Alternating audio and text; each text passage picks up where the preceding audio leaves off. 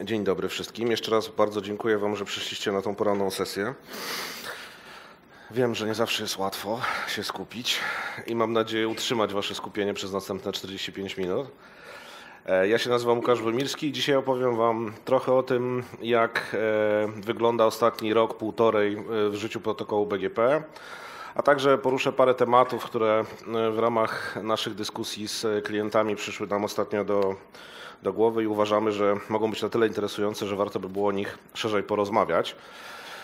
I tak jak słyszeliście przed chwilą, jeżeli macie jakieś pytania, to proponuję zadawać je w trakcie wykładu, bo slajdy są przygotowane na tyle, żeby rozbudzić Waszą ciekawość. Slajdy z konfiguracjami w dużej większości są poukrywane, czy też z detalami, więc jeżeli będziecie chcieli jakiś temat rozwinąć bardziej, to oczywiście e, chętnie opowiem coś więcej albo pokażę coś więcej, natomiast jeżeli nie będzie to aż tak bardzo dla Was interesujące, to po prostu pójdziemy dalej. Oczywiście zawsze potem jestem e, dostępny po sesji.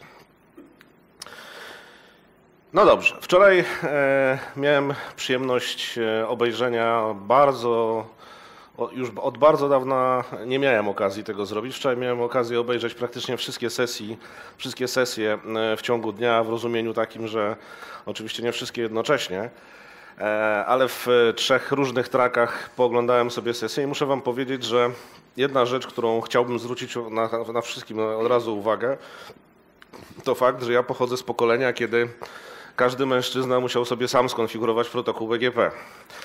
Wczoraj oglądając sesję doszedłem do wniosku, że właściwie już o niczym innym się nie mówi, tylko o tym, że każdy ma swój kontroler i ten kontroler tam się wyklikuje i wszystko się dzieje samo i jest fabryk IP i e, takie rzeczy jak protokół BGP już nie są potrzebne.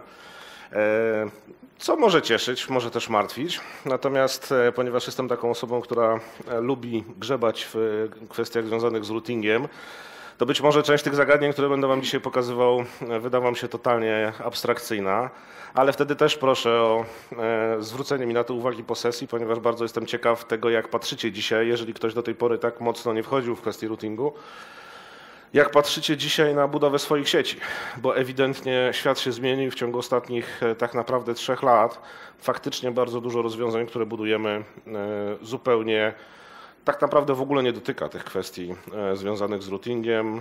E, spotykamy cały czas e, kolegów inżynierów, którzy w zasadzie czegoś takiego jak routing dynamiczny, czy wiedzą, że istnieje, ale on istnieje gdzieś tam na obrzeżach ich mm, doświadczeń zawodowych, bo tak naprawdę zajmują się rzeczami, które są na przykład wewnątrz data center i zupełnie nie są związane z routingiem dynamicznym. No dobrze. BGP stworzono na tak zwanych trzech serwetkach. To jest czasami e, protokół, który jest nazywany protokołem trzech serwetek. E, nie do końca wiadomo, czy to był obiad, czy to była kawa. Są dwie co najmniej różne, e, różne wersje. Zapytałem Kirka, Kirk pracuje nadal w Cisco. Len Bosak jest jednym oczywiście z założycieli Cisco, natomiast nie, nie ma już go na pokładzie. Natomiast Jakob Rechter obecnie jest z tego co wiem, chyba w Google, natomiast przez bardzo długi okres czasu był w, pracownikiem firmy Juniper. No i są dwie różne wersje, albo przy kawie, albo przy obiedzie. W sumie nie ma to żadnego znaczenia. Ważne jest, e, ważna jest jedna fajna rzecz, którą myślę, może od razu jej nie widać tutaj na tych trzech kartkach, ale można sobie ją wyobrazić. E, tak kiedyś tworzono protokoły, to znaczy elegancja tego, w jaki sposób inżynierowie pracują nad tym, żeby coś było dobrze zaprojektowane. Po pierwsze doskonale zniosła e, presję e, skalowalności, ale zniosła przede wszystkim również te 20 lat rozwoju internetu z kawałkiem od pierwszych implementacji przez kolejne implementacje, które były coraz bardziej doskonałe. I tak naprawdę jak popatrzymy sobie, to jest maszyna stanów, tu jest opisany pakiet update i pierwsze atrybuty, które były w BGP. Fundamentalnie protokół BGP praktycznie w ogóle od tych trzech kartek czy trzech e, serwetek nie odbiega. Dzisiaj opowiem Wam o wielu różnych rozszerzeniach, wielu różnych modyfikacjach, wielu różnych innych zachowaniach niż pierwotnie zakładano w protokole BGP. Natomiast jak popatrzycie na to, jak to zostało zaprojektowane, a zostało zaprojektowane dobrze, mądrze, w sposób właśnie skalowalny, to niezależnie od tego, czy procesory mają dzisiaj inne e, gigaherce, czy megaherce, czy pamięci się dzisiaj skaluje w terabajtach, czy w bajtach, ten mechanizm cały czas działa i napędza nam światowy internet. Jak popatrzymy sobie, co do tej pory e, było domeną BGP versus innych protokołów czy innych rozwiązań, to w okolicach 2000 roku, trudno to jakby wprost powiedzieć, ale można powiedzieć tak logicznie, że to w okolicach 2000 roku BGP tak naprawdę odpowiadało za dwie rzeczy. To znaczy za przekazywanie sobie prefiksów na e, peelingach internetowych i powoli zaczynało wchodzić w takie obszary jak e, L3 VPN, bo było wygodne. Z punktu widzenia polityki kontroli rozgłaszanych prefiksów wydawało się dosyć e, fajnym narzędziem, na pewno lepszym niż na przykład protokoły link state, które trudno trochę opanować w momencie, kiedy nie do końca ufamy drugiej stronie. Natomiast za pozostałe aspekty działania naszych sieci zaczęła, zaczynały odpowiadać, bo to jeszcze był taki czas, kiedy część z tych rzeczy, które tutaj w tabelce, zaczyna się dopiero tworzyć, odpowiadały zupełnie inne protokoły i zupełnie inne zagadnienia, które powoli też jakby zaczynały się kalibrować względem tego, co można zrobić za pomocą protokołu BGP, czego lepiej za pomocą protokołu BGP nie robić. Dzisiaj tak naprawdę, jak popatrzymy na to, co teoretycznie BGP może, trudno znaleźć taką jedną implementację BGP, która może wszystko.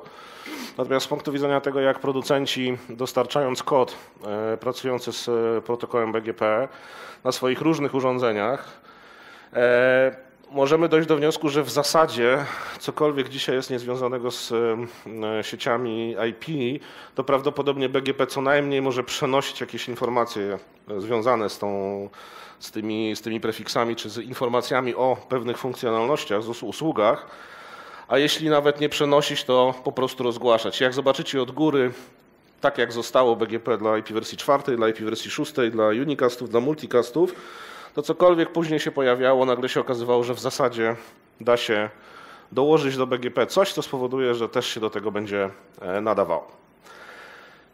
Z jednej strony to pokazuje jak skalowalny jest ten protokół, to znaczy jak dużo można rzeczy fajnych zrobić w oparciu o BGP, nie zmieniając samej mechaniki podstawowej protokołu. Z drugiej strony oczywiście taka sytuacja budzi też pytanie, czy jest sens. I ta debata się toczy w ciągu ostatnich 15 lat, mniej lub bardziej e, w sposób taki ostry lub bardziej zaowalowany. Natomiast prawda jest taka oczywiście, że w momencie, kiedy cała nasza sieć pracuje w oparciu o jeden protokół, E, i wszystkie mechanizmy, które w tej sieci pracują, również pracują w oparciu o ten protokół, no to ten protokół staje się dla nas bardzo ważny, ponieważ w momencie, kiedy jego dysfunkcje wyjdą na jaw albo pojawią się jakieś zakłócenia w działaniu urządzeń, które obsługują ten protokół, no to możemy mieć zacząć e, problemy. Na przestrzeni ostatnich paru lat te funkcjonalności, których BGP jakby króluje, czyli na przykład rzeczy związane z e, odbijaniem tras, czyli root reflektory i pewne usługi, które na przykład dotyczą ruchu, obsługi ruchu multicastowego, zaczęły być wydzielane jako osobne węzły, mimo tego, że pracujące za pomocą tego samego protokołu, to właśnie z uwagi na bezpieczeństwo działania wydziela się, te, wydziela się te urządzenia na przykład do urządzeń innego producenta albo do osobnych lokalizacji, tak żeby jedna, czy problemy z jedną instancją nie zakłócały instancji drugiej. No ale wracając z powrotem jakby do, do tej tabelki, ewidentnie dzisiaj widać, że jeżeli chcielibyśmy, czy mielibyśmy jakiś pomysł, co można by było za pomocą protokołu BGP dodatkowo rozgłaszać w naszej sieci, to prawdopodobnie albo to już jest, o dziwo, albo jest w postaci jakiegoś draftu. Dzisiaj bardzo dużo o draftach będę mówił. E, natomiast być może jest już w postaci draftu, który na przykład wygasł już, ale za chwilę wrócimy do niego, bo dyskusja a propos tego, żeby BGP jednak zmusić do przenoszenia pewnego rodzaju informacji jest nadal e, interesująca dla kogoś gdzieś na świecie. Dlaczego również BGP jest taki interesujący dzisiaj i będzie prawdopodobnie interesujący przez kolejne co najmniej lata, być może dziesięciolecia? Ano dlatego, że właśnie jeżeli popatrzymy na to, co się dzisiaj dzieje z, siecią, e, z sieciami i ten cały taki hype SDN-owy, BGP jest protokołem, który bardzo prosto zrozumieć. Jeszcze raz wrócę na chwilę do tego slajdu. BGP jest tak naprawdę protokołem, który bardzo prosto zrozumieć, bardzo prosto napisać jego implementację. Jest bardzo dużo osób, które napisały własną implementację BGP, chociażby po to, żeby się pobawić. Są z tym oczywiście też problemy, o których będę mówił później, e, a także jak im zapobiegać. Natomiast prawda jest też taka, że działającą implementację, nawet podstawową takich protokołów jak OSPF czy ASIS, e, czy jak się okazało ostatnio IGRP, no dosyć trudno napisać. Znaczy bardzo łatwo powiedzieć, że przecież to jest zaledwie tam naście stron, e, zapiszemy to w kod i, i będzie fajnie działało, natomiast później się okazuje, że wychodzą masy problemów. Natomiast BGP protokół działający w oparciu o, e, o TCP, nawiązujący sesje, wymieniający konkretne prefiksy z, z ich atrybutami. Wszystko jest pięknie kodowane, są gotowe biblioteki do tego, żeby to oprogramować, a przede wszystkim jest masa otwartego kodu, który po prostu obsługuje BGP. Można zawsze do niego zajrzeć i powiedzieć, aha, to skoro ty rozgłaszasz za pomocą BGP takie rzeczy, to ja sobie dołożę kolejny atrybut i teraz będę rozgłaszał takie rzeczy. Koniec. Załatwione. Każdy poprawnie zachowujący się router e, pracujący z e, protokołem BGP, w momencie kiedy zestawiamy do niego sesję i zaczynamy go próbować rozgłaszać mu jakieś informacje, których on nie będzie w stanie zrozumieć, w najgorszym wypadku po prostu nam zerwie sesję. W zasadzie nic więcej nie powinno się w tej sytuacji wydarzyć, nawet jeżeli wysyłamy kompletne, kompletne dziwne rzeczy. No i dzisiaj jesteśmy w 2015 roku. Trochę e, rzeczy się wydarzyło od momentu, kiedy wszyscy zaczęli sobie sami konfigurować BGP. Pierwsza rzecz, która się wydarzyła z perspektywy platform sprzętowych, na których BGP jest uruchamiane, w zasadzie skończyły się już na dzień dzisiejszy dyskusje, jaki muszę mieć router, żeby móc mieć pełną tablicę BGP. Chociaż te dyskusje dzisiaj mają trochę inne, e, inne wersje, ale o nich na sam koniec.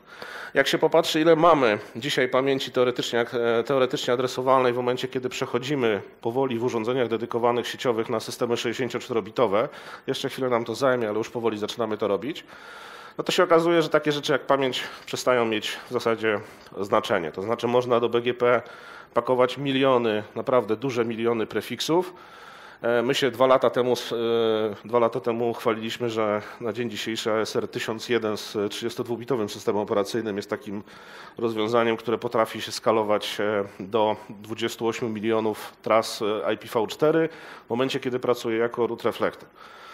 28 milionów tras to jest bardzo dużo. Dzisiaj nadal nie ma implementacji, które są w stanie w tak, tak, szybki sposób załadować te 28 milionów tras, ale jak popatrzymy na to, ile prefiks zajmuje pamięci, i wyobrazimy sobie, że w tym laptopie na przykład mam 16 giga RAMu, to w momencie, kiedy uruchomię jakąś software'ową instancję e, protokołu BGP, to prawdopodobnie te 28 milionów prefiksów jestem w stanie spokojnie, e, spokojnie przyjąć. Są sieci czy są rozwiązania sieciowe, w których konieczność używania takiej ilości prefiksów jest uzasadniona. Co więcej, czasami się okazuje, że tych prefiksów trzeba mieć jeszcze więcej, bo dodatkowo do tego dochodzą dodatkowe usługi, które chcemy przesyłać za pomocą protokołu BGP. W związku z tym, jak się popatrzy na to, co się dzisiaj dzieje z punktu widzenia systemów operacyjnych tych osadzonych, bo na tym się skupiam dzisiaj w trakcie, w trakcie prezentacji, to ewidentnie widać, że w zasadzie technologia dorosła. Zupełnie innym problemem dzisiaj, jeżeli nie mówimy o sprzęcie typu PC do realizacji e, protokołu BGP, jest kwestia tego, jak my jako producenci nadążamy z produkcją urządzeń, które tak duże ilości RAMu mają osadzone na kartach liniowych i na kartach sterujących, ponieważ jak pewnie sobie doskonale zdajecie sprawę, takie rzeczy jak kontrola parzystości, promieniowanie słoneczne i różne inne ciekawe zagadnienia, które występują w takich urządzeniach, które właściwie powinny pracować bezprzerwowo e, latami, zaczynają mieć znaczenie i takie osadzanie terabajtów RAMów e, na karcie sterującej nie zawsze jest rozwiązaniem optymalnym, a już na pewno nie będzie rozwiązaniem, nie, nie będzie rozwiązaniem e, tanim. Oczywiście Tyle RAMu też trudno jest sobie wyobrazić w jednym urządzeniu, aczkolwiek też już powoli zaczynamy w tą stronę iść. E, w routerze 2500 Cisco, takim dosyć znanym routerze, który przez wiele lat nie tylko utrzymywał internet w Polsce, ale zaczynał e, pojawiać się w różnych firmach, e, można było mieć 4 MB RAM. 4, potem 8, E, chyba doszliśmy do 16, jeśli mnie w tym momencie pamięć nie myli. Natomiast dzisiaj routery komercyjnie sprzedawane bardzo często zaczynają mieć w okolicach 16 gigabajtów RAM. E, pojawiają się pierwsze urządzenia, które mają z jakichś różnych powodów 32 GB. Wtedy ten RAM jest wykorzystywany jeszcze do innych zastosowań, ale ewidentnie zaczynamy się rozpędzać. Biorąc pod uwagę, że bardzo często pod biurkiem mamy PC, który ma 1 terabajt RAMu, E, bo wykorzystujemy środowiska wirtualne i bawimy się tym. Ewidentnie widać, w którą stronę to idzie. No i niestety, albo na szczęście, należy się z tym pogodzić i wykorzystać możliwości, jakie nam to daje. Druga rzecz, która się dzieje ewidentnie, e, ona jest związana z tym, że coraz więcej implementacji software'owych zaczynamy używać, ale również z tym, że technologia idzie mocno do przodu, to jest oczywiście wielowątkowość. Jak popatrzymy na zagadnienia sieciowe, w szczególności na takie proste protokoły jak BGP, okazuje się, że bardzo dużo rzeczy w takim protokole można zrównoleglić. Jeżeli jesteśmy w stanie wykorzystać moc nowoczesnych procesorów, co najmniej dwurdzeniowych, czterordzeniowych, ośmiordzeniowych itd., tak itd., tak to nadal są niespotykane dosyć e, sytuacje, ale dwurdzeniowe układy i czterordzeniowe układy już się komercyjnie stosuje w routerach, no to nagle się okazuje, że jeżeli tylko kod jest odpowiednio dobrze napisany, to w zasadzie taka implementacja działa dużo, dużo szybciej, dużo, dużo efektywniej tak naprawdę przestaje nam przeszkadzać to, że mamy do dyspozycji n gigaherców, bo to zawsze nie jest, to nie jest eleganckie rozwiązanie inżynierskie, jeżeli rzucamy do pracy dużo gigaherców i stwierdzamy, będzie dobrze, ponieważ właśnie tutaj użyliśmy brutalnej siły, żeby zaadresować problem. Natomiast ciekawe jest to, że coraz więcej widzimy sytuacji, kiedy to nie procesor samej platformy zaczyna być ograniczeniem, tylko mechanizmy sprzętowe związane na przykład z programowaniem tablic FIP. Piotrek Jabłoński, parę jeszcze innych osób przy okazji PLNOGów mówiło dużo o tym, jakie problemy mogą się pojawić w sytuacji, kiedy mamy platformy sprzętowe i działającą sieć e, i bardzo duże modyfikacje tablic FIP na dwóch różnych urządzeniach, które są bezpośrednio ze sobą połączone, wykonywane są w innym czasie. Może dojść do mikropętli, możemy dojść do ciekawych zjawisk e, w sieci, ponieważ teoretycznie procesor zamontowany na karcie sterującej już sobie prefiksy e, zupdate'ował, już wszystko wie, natomiast karta liniowa, starając się na przykład ten milion prefiksów na, na w swoich pamięciach zupdate'ować, no chwilę jej to zajmuje i to nie są czasy takie do końca krótkie. Więc to, co się dzisiaj dzieje w platformach różnych producentów, ja oczywiście skupiam się na tym, co jest dostępne w Cisco, to jest ewidentnie sytuacja, kiedy e, procesory wielowątkowe, wielordzeniowe zaczynają używać wielu wątków do obsługi zadań. Jeżeli te zadania są odpowiednio ze sobą skorelowane, kod jest napisany dobrze, to przyrost wydajności obsługi protokołu jest e, wysoce, wysoce zauważalny i faktycznie wystarczy sobie porównać wydajność jednowątkowego systemu operacyjnego, na przykład jakim jest zwykły iOS, versus to, co potrafi zrobić e, na powiedzmy sobie porównywalnym procesorze iOS XR, ale na procesorze, który ma, e, który ma dwa rdzenie. Druga rzecz, która nas e, w pewien sposób uderza, to jest oczywiście kwestia e, ewolucji ród reflektorów. Ród reflektory są takim e, cennym miejscem w sieci, w szczególności jeżeli używamy oczywiście protokołu BGP, który, na który zwracamy szczególną uwagę, ponieważ jeżeli root reflektor w naszej sieci BGP ma jakieś problemy, to najprawdopodobniej problemy ma cała sieć. I znowu wyszliśmy od miejsca, kiedy nasz root reflektor oparty było w miarę prosty router, który miał mniej lub bardziej ograniczoną wydajność, ale generalnie wystarczał nam do zadań, których wtedy używaliśmy. Ta wydajność oczywiście z czasem przesuwała się do przodu. Do sytuacji, kiedy mamy dzisiaj w zasadzie bardzo dużo dyskusji o tym, że root reflektor w zasadzie z punktu widzenia tego, z jakimi przepustowościami dzisiaj pracuje pamięć na PC-tach i z jakimi przepustowościami, czy jaką wydajnością pracują procesory ogólnego zastosowania, w szczególności x86, bo to jest ta dominująca platforma, nie ma żadnych powodów, żeby root reflektor nie był jednak taką instancją wirtualną. Daje to wiele swobody, daje to wiele oczywiście też e, wygody, jeśli chodzi o projektowanie sieci, bo nagle się okazuje, że nie musimy mieć fizycznego węzła, który gdzieś tam w szafie sobie stoi, tylko jesteśmy w stanie rozproszyć za pomocą ulubionego środowiska wirtualnego, czy to jest OpenStack, czy, czy mm, cokolwiek innego maszyny wirtualne, które de facto są naszymi root reflektorami. I tych root reflektorów możemy mieć dużo. W tym momencie zaczynają nas ograniczać już tylko inne rzeczy, to znaczy kwestie konfiguracji klientów, którzy, którzy będą się łączyli do tych root reflektorów. No i co ciekawe, ewidentnie świat w tą stronę idzie. To znaczy, jak patrzymy dzisiaj na sieci naszych klientów, w ramach których dyskutujemy o tym, co następne wymienić, co zmienić w tej sieci, żeby ona działała lepiej, a przede wszystkim jak zmienić tą sieć, żeby ona działała lepiej z punktu widzenia skalowalności dla nowych usług, to się okazuje, że wszyscy powoli przesuwają się w tą stronę. Root reflektory software'owe. Oczywiście, jeżeli implementacja tej, e, tej instancji BGP jest na tyle stabilna czy wygrzana, tak jak my chwalimy się oczywiście swoimi instancjami, to znaczy CSRM 1000V, który bierze kod z ASR 1000 i czy XRV, które bierze kod z iOS XR-a i tej instancji czy tej implementacji BGP chyba nie można nic zarzucić, sprawdzona w milionach instalacji to okazuje się, że w zasadzie jest to rozwiązanie ewidentnie wygodniejsze. Co ciekawe jednak, Inżynierowie, którzy przyzwyczajeni są jednak trochę do tego metalu, mówią wprost, dobrze, zastosujemy rozwiązanie software'owe i bardzo fajnie, że będziemy mogli je zastosować, ale postawmy sobie dla bezpieczeństwa jeszcze, zostawmy sobie dla bezpieczeństwa te dwa fizyczne root reflektory, bo a nuż ktoś zepsuje tego KVM-a, a nuż ten VMware się wywali, a nuż ta e, maszyna wirtualna coś tam jej się popsuje i pójdziemy w złą stronę. Natomiast ewidentnie trend jest jednoznaczny. Wszyscy powoli, jeśli chodzi o root reflektory, przesuwają się w stronę środowisk wirtualizacyjnych. Kolejna rzecz, jeśli chodzi o BGP, na którą musimy zwrócić uwagę, to fakt, że o ile BGP teoretycznie jest protokołem bardzo wolnym, o tyle skoro wrzucamy na protokół BGP coraz więcej funkcji, coraz więcej usług, za pomocą którego rozgłaszamy, za pomocą BGP, którego rozgłaszamy e, dostępność tych usług, to nagle się okazuje, że w przypadku różnego rodzaju sytuacji awaryjnych w sieci musimy się zastanowić, jaką, jaki wpływ e, czas konwergencji BGP będzie miał na działające usługi. Jak zaczynaliśmy od łącz 2 megabitowych, to tak naprawdę to, że BGP się złożyło i za chwilę wstało z powrotem, w większości przypadków nie stanowiło szczególnego problemu. Tym bardziej, że tak naprawdę byliśmy przyzwyczajeni do tego, że wszystko działa tak raczej, raczej wolno. Dzisiaj mamy sytuację, kiedy e, przy takim typowym peeringu BGP i interfejsach 100 gigowych jesteśmy w stanie stracić 400 milionów pakietów w momencie, kiedy BGP się położy, poczeka chwilę i się spróbuje z powrotem podnieść na tym łączu to już jest praktycznie nieakceptowalne, jeżeli tego typu interfejsy są tak mocno obciążone ruchem. Przypominam Wam wszystkim, nie wiem czy też macie takie obserwacje, ale dzisiaj jak siadamy przy telefonie czy przy komputerze, klikamy na coś i to się nam od razu nie otworzy, to już zaczynamy odczuwać zirytowanie. I ten czas, kiedy jesteśmy y, spokojni, do momentu, kiedy zaczynamy być zirytowani, zaczyna się już mierzyć właśnie w okolicach sekundy, półtorej sekundy.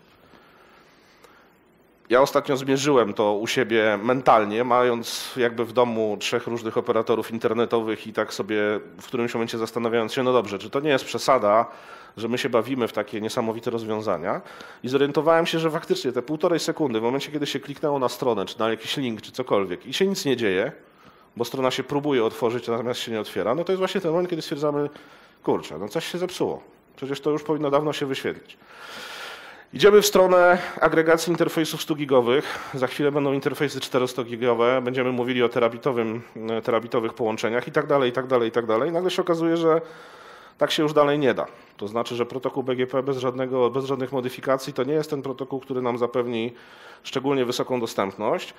I znowu, protokół BGP nie był do tego projektowany. Natomiast da się go wyposażyć w pewne mechanizmy, które powodują, że nagle on zaczyna działać trochę szybciej.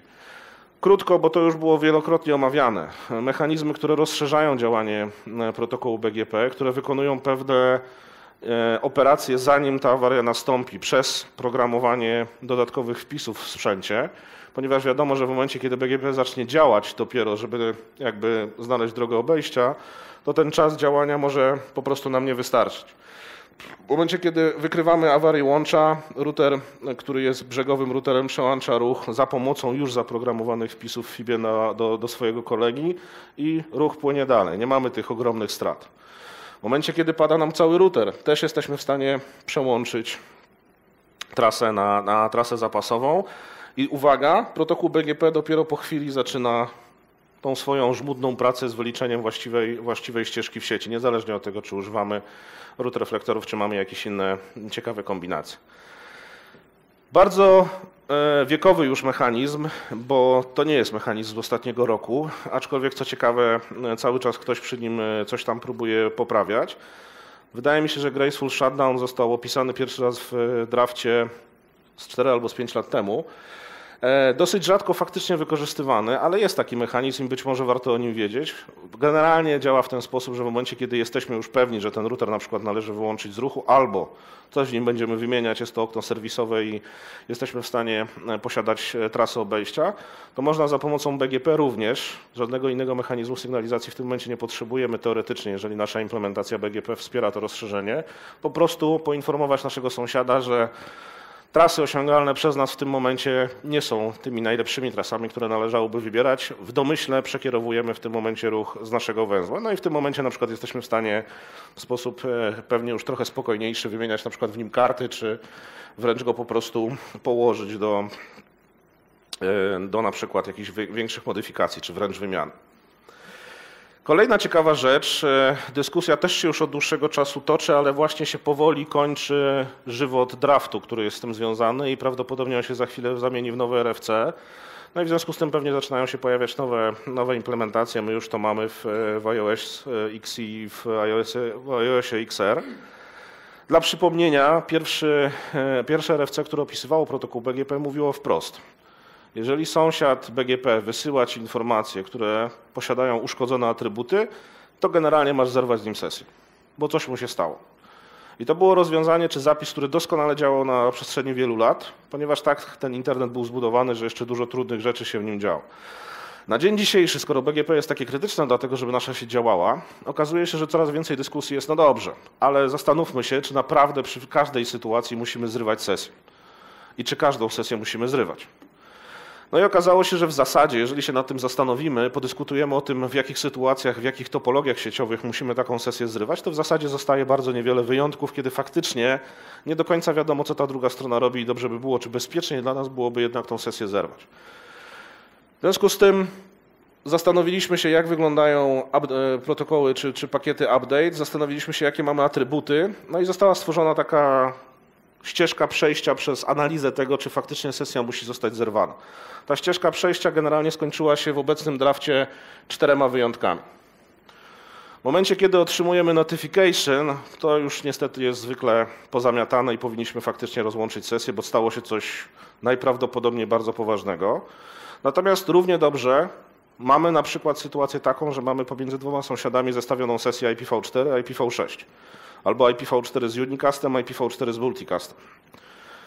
Jeżeli coś niedobrego dzieje się na tej sesji z multicastem, na przykład zaczynamy dostawać śmieci lub coś dziwnego się dzieje z, z, drugim sąsiadem, zaczyna generować jakieś właśnie uszkodzone pakiety, to dlaczego zrywać całą sesję? Być może ta sesja IPv4 dla Unicastów może sobie stać dalej, jeżeli w niej nie dzieje się nic dziwnego.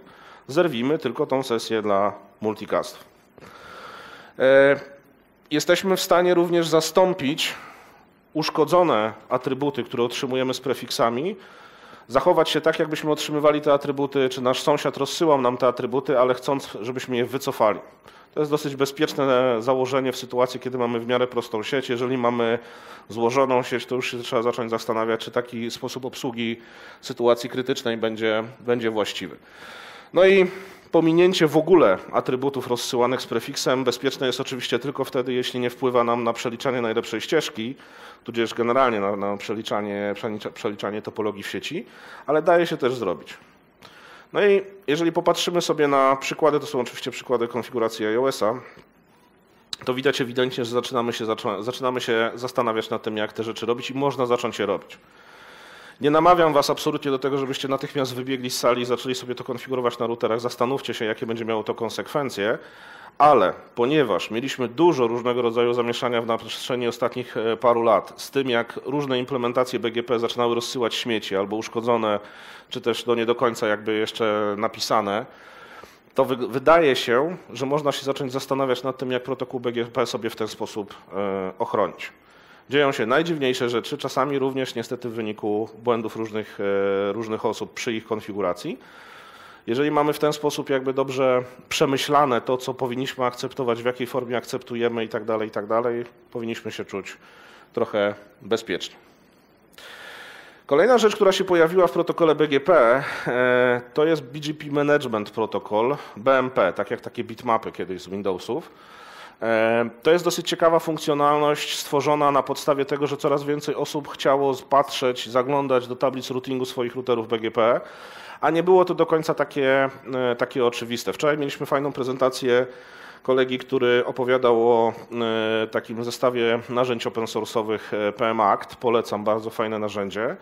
E, rozwiązano działanie tego narzędzia w ten sposób, że napisali chłopaki implementację własną protokołu BGP opartą o Quagę i ten e, router tak naprawdę BGP zestawia taką pasywną sesję, znaczy taką sesję, w ramach której e, sesja zostaje nawiązana, akceptujemy wszystkie update'y, natomiast nie wysyłamy żadnych update'ów.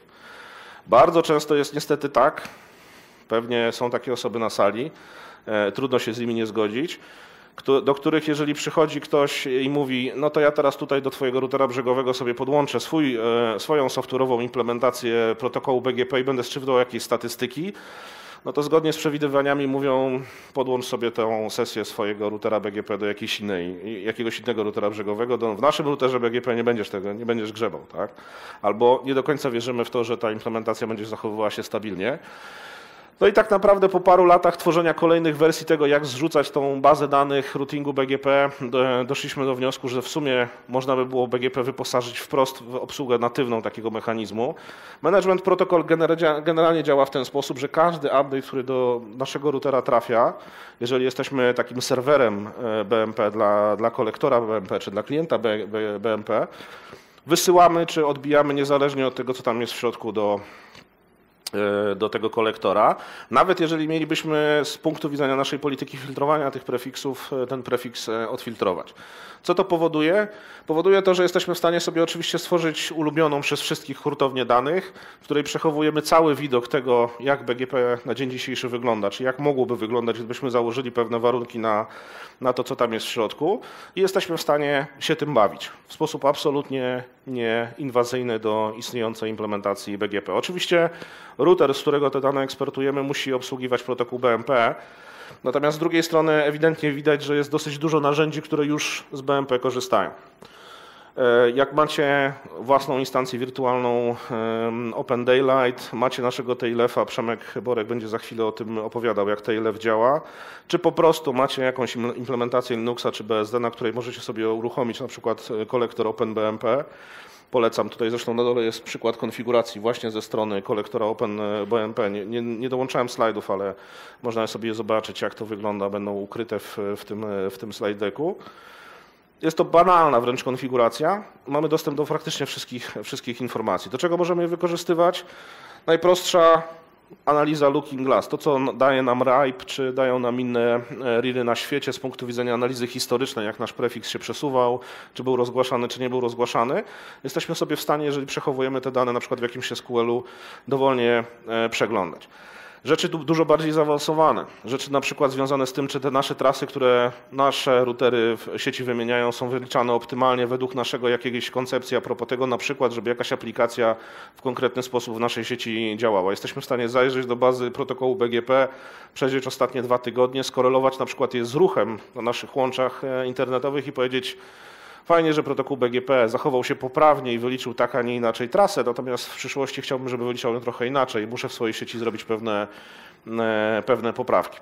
No i na koniec symulacji. Jeżeli mamy pełną bazę e, z protokołu BGP na tą chwilę, nie na 5 minut wcześniej, tylko na tą chwilę, to jesteśmy w stanie na przykład powiedzieć, dobrze, mam taką politykę na przykład filtrowania prefiksów, ścieżek ASPAW czy jakichkolwiek innych, jeżeli teraz ją założę na e, tą konkretną instancję widoku e, protokołu BGP, co się stanie? Co będę widział, czego nie będę widział? Które moje poszczególne routery jak będą e, w tej instancji wyglądały?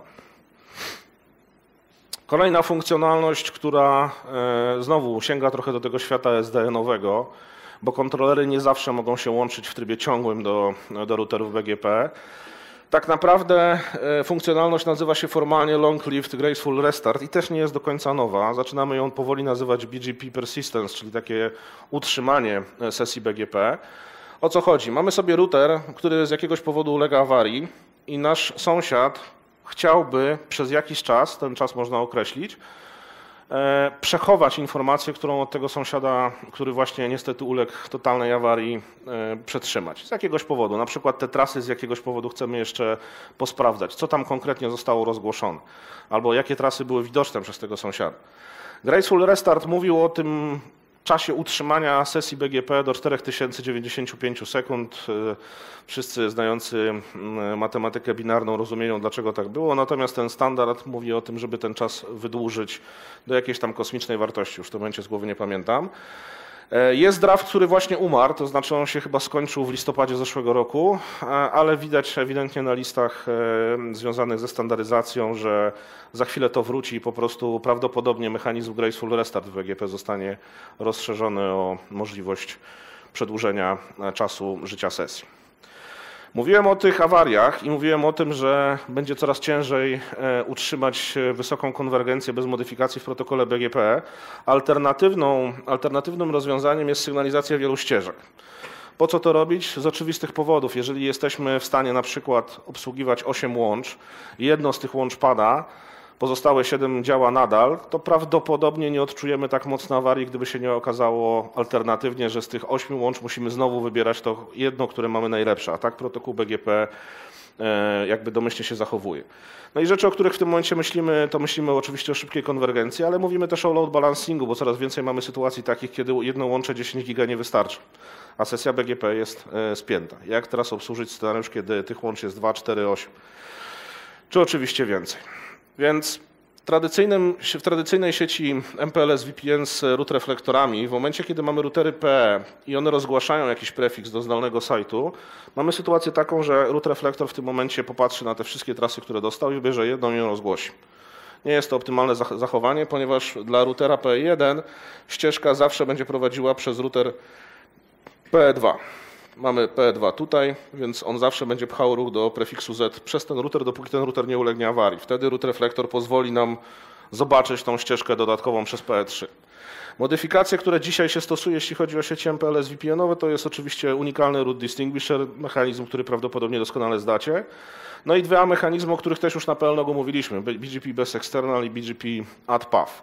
Pokrótce działa w to w następujący sposób. W momencie, kiedy tworzymy adres MPLS VPN, czyli tak zwany adres VPN v4, VPN v6, mamy możliwość nadania, mimo tego, że tego samego, temu samemu prefiksowi IPv4, dwóch różnych root distinguisherów. Co to oznacza? Że dla root reflektora, mimo tego, że ten prefiks jest ten sam z punktu widzenia adresacji IP, on jest zupełnie innym prefiksem z punktu widzenia adresacji VPN v4 czy VPN v6. I to oznacza, że dla takiego routera zdalnego Oba te prefiksy wylądują w tym momencie w tablicy, w tablicy routingu i będzie w stanie na przykład realizować load balancing e, kierując ruch do nich. Drugi mechanizm BGP Best External. W momencie, kiedy mamy taki układ, w tym momencie akurat tu jest, nie, ma, nie ma root reflektora, ale można sobie wyobrazić analogiczny scenariusz. Zwróćcie na, na uwagę, że teoretycznie tutaj stosujemy też za pomocą local preference zmianę tego, w jaki sposób chcemy zobaczyć dany prefiks. Problem polega na tym, że w momencie, kiedy te dwa routery mają też ze sobą spiętą sesję, ten router po chwili uzna, że prefiks, który otrzymuje z wyższym local preference jest tak naprawdę lepszy i przestanie rozgłaszać swój własny prefiks do routera PE1. Bo ma lepszy od swojego sąsiada. Mechanizm BGP Best External jest obejściem tego, tego problemu, to znaczy router, który otrzymuje od kolegi lepszy prefiks niż ten, który sam ma, jeżeli zobaczy, że ten prefiks tak czy inaczej pochodzi z zewnętrznej sieci i tak go rozgłosi. Taka prostsza, mecha, prostszy mechanizm zapewniania ścieżki zapasowej. No i BGP AdPath, który generalnie polega na tym, że rozgłaszamy N ścieżek, poza tą najlepszą. Ma trzy różne wersje, nie będę w nie wchodził, ale są dosyć, e, dosyć e, twórcze, jeśli chodzi o to, co jest rozgłaszane. Każdym, generalnie dobrze by było, żebyście zapamiętali, jeżeli pierwszy raz słyszycie o BGP AdPath, że możemy rozgłaszać oprócz ścieżki najlepszej N dodatkowych ścieżek. W zależności od tego, którą wersję wariantu rozgłaszania wybierzemy i oczywiście jak to skonfigurujemy, nie wszystkie mechanizmy są dostępne na wszystkich platformach zawsze. Może się okazać, że jesteśmy w stanie sobie zapewnić praktycznie na przykład, mimo tego, że mamy dosyć dużą sieć, ładny load balancing za pomocą protokołu BGP, który rozkłada ruch na N łącz mimo tego, że teoretycznie powinien wybrać jedno, czy przynajmniej takie, taki zestaw łącz, który ma równą, równy koszt. Prezentacja nie obyłaby się bez wspomnienia o SDN. E, kolorowe jednorożce e, pochodzi z takiego stwierdzenia Iwana Peplniaka, który stwierdził, że w którymś momencie, że wszystkie opowieści o SDN kojarzą mu się z takimi opowieściami baśniowymi. No i ktoś potem narysował kolorowego jednorożca i od tamtego czasu, jak się mówi SDN, to trzeba od razu powiedzieć kolorowe jednorożce. Zostałem ukarany. Naiwna definicja SDN-u to jest właśnie taka definicja, że rozdzielamy control plane i data plane. Czyli tak jak mieliśmy do tej pory w jednym węźle kartę sterującą, czy procesor i interfejsy, w SDN-ie zaczynamy mówić o tym, że nie w każdej sytuacji, ale taki najbardziej ortodoksyjny scenariusz wdrożenia SDN-u polega na tym, że data plane jest w cudzysłowie taki głupi, natomiast control plane jest wyniesiony poza nasz, poza nasz tani, tańszy, prostszy węzeł sieciowy i na przykład jest jakąś instancją software'ową. Ewidentnie, moim zdaniem, widać, że to nie będzie tak kolorowo. Ewidentnie poruszamy się w tą stronę, kiedy będzie to podejście hybrydowe. Po pierwsze, nie można, czy trudno sobie wyobrazić poza takim bardzo ścisłym środowiskiem data center, że ten węzeł sieciowy, który jest węzłem sieciowym na przykład w sieci WAN, faktycznie może być taki zupełnie głupi. W momencie, kiedy się uruchamia, trzeba go jakoś zaprogramować, chociażby po to, żeby się połączył ze swoim kontrolerem. No i widać ewidentnie, że ten świat, który jest związany z, z softwarem i sprzętem sieciowym, w jakiś sposób pozostaje nadal w ciekawej dyskusji, jak to zrobić dobrze, ale powoli przesuwamy się do sytuacji takiej, kiedy węzły sieciowe, te prostsze, może nie głupie, prostsze, faktycznie mają pewne tylko podstawowe funkcjonalności, plus jak zwykle funkcjonalności, które na przykład pozwalają im realizować szybką konwergencję w oparciu o fizyczne łącza, które mają fizycznie do siebie podłączone, a nie ich kontroler gdzieś tam w sieci ma podłączone do siebie. Natomiast coraz, więcej ciekawych funkcjonalności zaczyna przechodzić faktycznie do tej warstwy e, control plane. I teraz niezależnie, czy ta warstwa control plane'u jest na przykład pluginem do, do Open Daylight i steruje nam całą siecią, czy jest kontenerem maszyny wirtualnej na karcie procesora routera z wieloma kartami włożonymi do środka, w tą stronę ewidentnie powoli się przesuwamy. Co to powoduje? Powoduje to, że coraz więcej zaczynamy mówić o tym, jak dostać się do routera i z niego coś wyciągnąć, a i w odwrotną stronę, jak wrzucić do routera coś, co nie wynika wprost z funkcjonalności protokołów, które ten router obsługuje. I zaczynają się tworzyć nowe protokoły. I takim jednym z ciekawszych protokołów, o których e, chciałem jeszcze wspomnieć, zanim skończymy sesję, to jest e, BGP Link State. To jest pomysł na to, żeby prze, przez BGP albo dzięki BGP przenosić informacje o poszczególnych łączach, które znajdują się w obrębie systemu autonomicznego. Zdalnego, lokalnego w tym momencie przestaje to już mieć znaczenie. Dlaczego?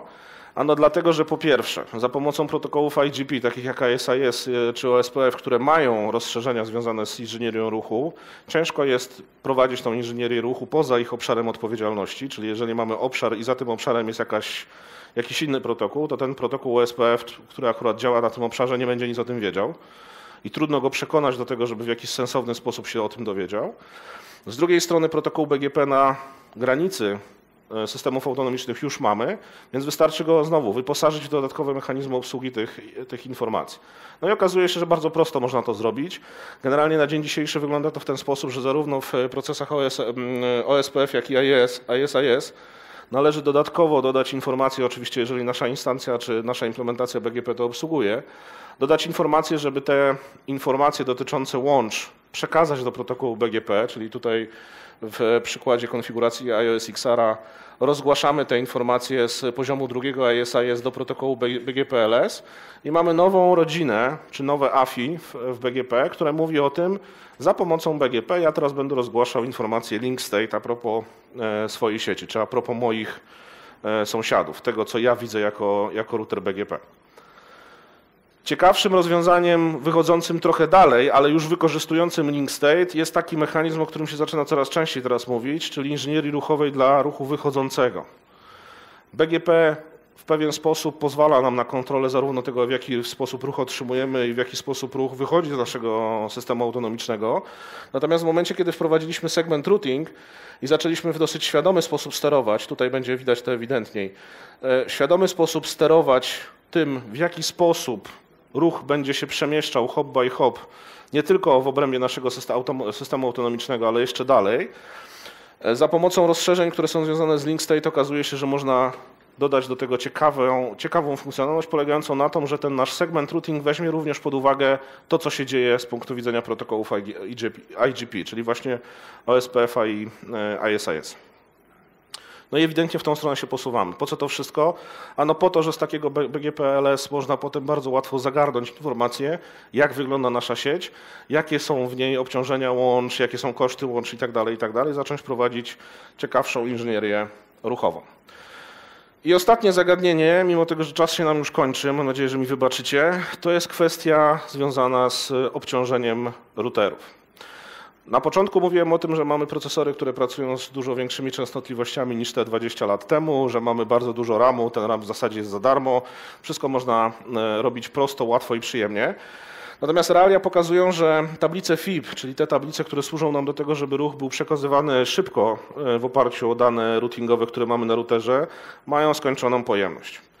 I tak jak dłubiemy w rozwiązaniach bardzo wysokopoziomowych, takich jak BGP Link State, który pozwala nam na dosyć zaawansowaną inżynierię ruchową za pomocą protokołu BGP, czy zbieraną za pomocą protokołu BGP, tak zaczynamy się zastanawiać, jak mam taki mały przełącznik, też wczoraj na pewno o tym na wielu sesjach słyszeliście, i ten przełącznik ma bardzo małą tablicę sprzętową routingu, to jak zrobić, żeby mimo tego w sposób optymalny można było rozkładać ruch w sieci, nie ładując jednocześnie na przykład na ten mały przełącznik pełnej tablicy routingu, czy tam połowy tablicy routingu globalnego. Przykładami takich sytuacji z tak zwanym problemem są sytuacje, kiedy domyślne konfiguracje sprzętu, w tym momencie, żeby jakby nie strzelać, pokazuje nasze, e, nasz sprzęt, powodują, że po przekroczeniu pewnej ilości prefiksów nowe prefiksy już nie są programowane w sprzęcie, po to, żeby zachować pewne graniczne wartości uznane przez producenta za bezpieczne. No i żeby to obejść, to oczywiście trzeba przekonfigurować swój sprzęt, ale trzeba o tym wiedzieć, że trzeba go przekonfigurować. Do katastrofalnych sytuacji może oczywiście dojść, kiedy producent nie udostępnia takich mechanizmów bezpieczeństwa i nagle się okazuje, że karta nie wie, że już przekroczyła ilość pamięci, którą, którą może na, siebie, na sobie zaprogramować. No i tak naprawdę mamy co najmniej trzy dobre podejścia. Pierwsze podejście związane z tym, żeby obejść problem, to jest tak naprawdę zastosowanie routingu nakładkowego. I niezależnie od tego, czy to jest MPLS, tunele grę, czy, e, czy segment routing, jesteśmy w stanie w pewien sposób bardziej zaawansowany sterować inżynierą ruchu w, swoim, w obrębie swojej sieci. Być może nie wrzucając na wszystkie węzły w naszej sieci pełną informację o tym, jak e, otoczenie poza systemem autonomicznym wygląda. Drugie rozwiązanie to jest e, Selective e, Route Download. Też słyszeliście o tym prawdopodobnie wczoraj w trakcie sesji plenarnej. To jest taki ciekawy mechanizm powodujący, że nie wszystko to, co jest uznane przez RIP jako najlepsza trasa, jest programowane do FIBA ale to trochę tak jak z brzytwą. To znaczy trzeba wiedzieć, jak się tym posługujemy, posługiwujemy, ponieważ jeżeli przesadzimy i okaże się, że FIP już nie zawiera większości tras, które nam są potrzebne do tego, żeby optymalnie realizować routing, albo żeby w ogóle realizować routing, no to jesteśmy w stanie oczywiście dosyć e, pięknie popsuć swoją własną sieć w sposób absolutnie świadomy. No i rzeczy związane z optymalizacją, tak zwana wirtualna agregacja, e, bardzo ciekawy pomysł, aczkolwiek dzisiaj nie wprowadzony komercyjnie w platformach, wymaga jeszcze chyba trochę dyskusji, jak to dobrze robić. Mechanizm, który pozwala nam automatycznie wykonywać taką wersję Selective Root Download, ale na podstawie informacji, które sieć ma sama o sobie. Prawdopodobnie przerodzi się to na przykład w jakieś oprogramowanie czy jakiś plugin do kontrolerów typu Open Daylight w przyszłości. W momencie, kiedy ta analityka sieci będzie mogła zajrzeć sobie do sieci i powiedzieć, dobrze, nie wszystkie węzły muszą mieć faktycznie pełną tablicę routingu, ponieważ w tym miejscu, w tym miejscu i w tym miejscu my jesteśmy tak naprawdę w stanie posiadać dużo, dużo mniej informacji. Na dole są linki do e, wirtualnej agregacji, czy do prezentacji dotyczącej wirtualnej agregacji. O LISP nie będę mówił, ponieważ LISP był już wielokrotnie na PLNOG omawiany, możecie, e, możecie znaleźć nagrania. Konfiguracja Selective Download jest bardzo prosta. Wybieramy, które prefiksy powinny się znaleźć w tablicy FIP po tym, jak przeszły przez RIP, po czym je importujemy w zależności od systemu operacyjnego, który macie do dyspozycji. Prawdopodobnie da się to, da się to uzyskać. Nie na wszystkich platformach, ale te platformy, w szczególności operatorskie, takie mechanizmy na pewno mają. Tyle ode mnie. Dziękuję bardzo. Czy są może jeszcze jakieś pytania? Ktoś? Nie. Nie Dobrze, podziękujmy serdecznie w takim Będę razie. dostępny. Dzięki.